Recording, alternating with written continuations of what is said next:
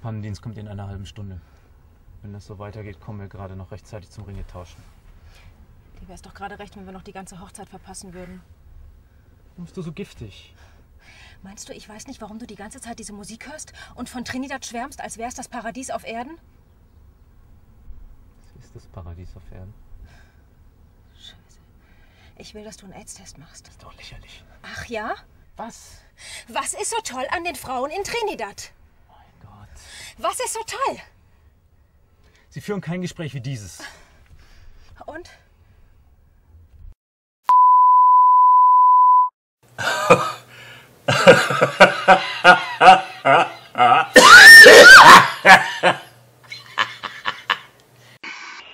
Du hast Lust auf knackige Erdbeeren?